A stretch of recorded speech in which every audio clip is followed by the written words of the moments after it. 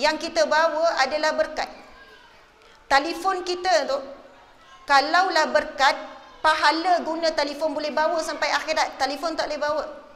Tapi kalau telefon yang kita guna itu menjarakkan hubungan kita dengan Allah, jarakkan hubungan kita dengan suami isteri, jarakkan hubungan dengan anak, jarakkan hubungan dengan Al-Quran, jarakkan hubungan kita dengan ibadah dengan solat sehingga kita lebih banyak menyembah telefon daripada menyembah Allah.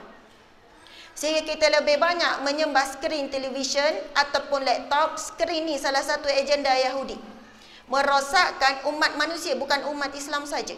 Dia kalau boleh hanya Yahudi saja yang makhluk ataupun manusia yang bijak yang ke depan kalau boleh selain daripada manusia yang bernama Yahudi Israel semua rosak. Dan paling utama Islam lah. Dan memang kita tahu telefon inilah bukan orang muda, bukan kanak-kanak saja, bahkan orang tua pun menghadapi masalah fitnah ujian telefon. Betul atau tidak? Kita lebih banyak memegang telefon kita daripada pegang pasangan kita. Lebih banyak belai telefon daripada belai anak-anak. Mata kita lebih banyak fokus kepada telefon berbanding fokus bila anak, bila isteri, bila suami bercakap. Apatah lagi nak fokus lama pada Al-Quran, nak tadabbur Al-Quran, baca setengah jam dah mengantuk. Nauzubillah min zalik. Sekiranya kita ada ciri-ciri seperti ini menunjukkan telefon itu bukan satu barakah tetapi satu musibah. Kereta yang Allah beri memang tak boleh bawa dalam kubur tapi keberkatan boleh bawa dalam kubur.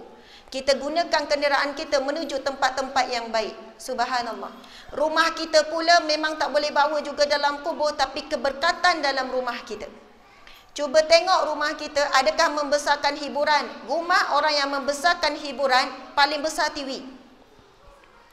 Ada PA system. Rumah yang membesarkan makan-makan tengok dapur dia semua benda ada yang canggih-canggih. Rumah yang membesarkan rehat tengok bilik tidur dia paling selesa. Semua lengkap. Rumah yang membesarkan rehat-rehat, hiburan, makan-makan kita akan nampak pada hiasan-hiasan yang ada. Bila pergi kadang tu rumah-rumah umat Islam tidak dibesarkan Allah di dalam rumah ni. Bila tengok ruang solat tidak ada ruang khas. Walaupun rumah kecil kita boleh bentuk, kita boleh wujud ruang khas untuk solat. Untuk baca Quran dan sebagainya. Kita bimbang, kita hidup, kita mengumpulkan harta tetapi tidak ada keberkatan. Nauzubillah min